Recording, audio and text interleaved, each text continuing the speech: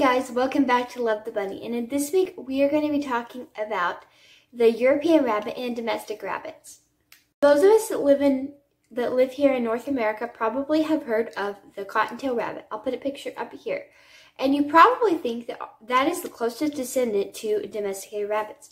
And that is ex not exactly true. They are in the same, cottontails and domestic rabbits are in the same family, but they are not in the same species. This, in the same species and the direct descendants from our domesticated rabbits are the European rabbits. And those are the rabbits I'm going to be talking about today.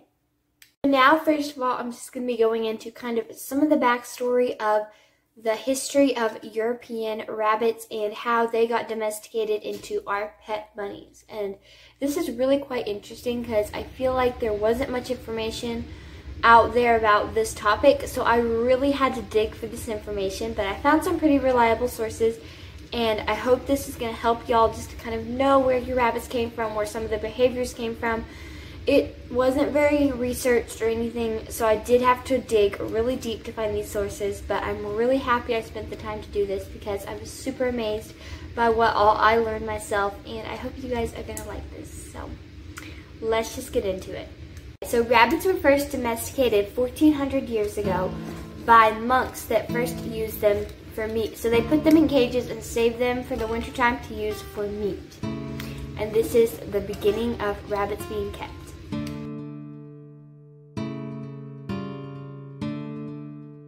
Going forward into the Victorian ages, rabbits started being kept as um, pets and hobbies for like show stock and people found out you can use rabbits such as Angora rabbits for their hair and people just really started to discover a lot more about them and people just in general kept them for pets. It also a little bit later started becoming popular as children's pets and things like that.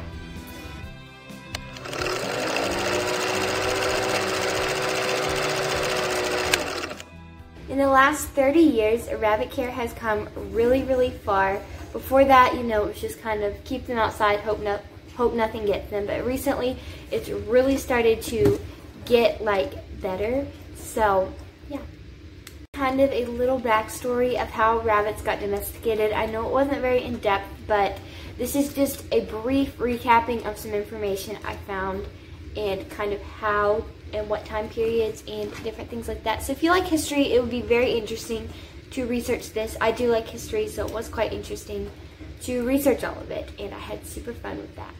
We're going to be talking about some similarities. So the first similarity I found was that European rabbits live around nine years, and pet rabbits domesticated and kept in good conditions will live 10 to 14 years. And so that is pretty close in lifespan. For example, a cottontail rabbit only lives around two to three years. So this is definitely a pretty similar fact of domesticated rabbits and European rabbits.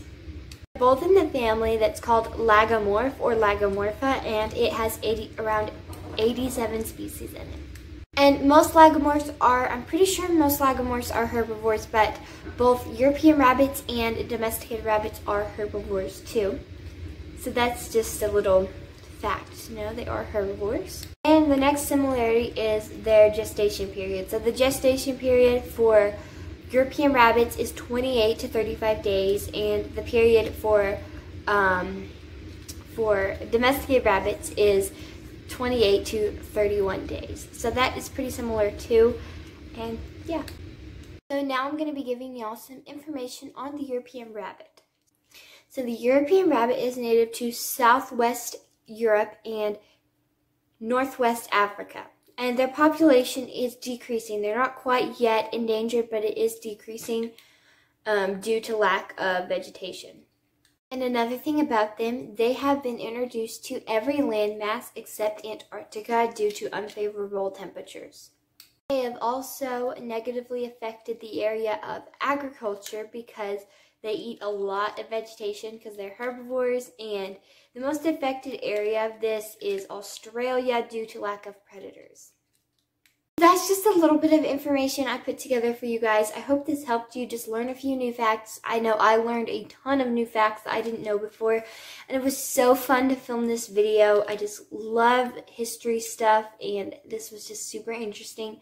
So I hope it interested y'all, and I hope everyone liked it, and I hope this will just help you in general to research. Thank you for watching Love the Bunny. Don't forget to like and subscribe down below if you would like to see more rabbit care and informational videos.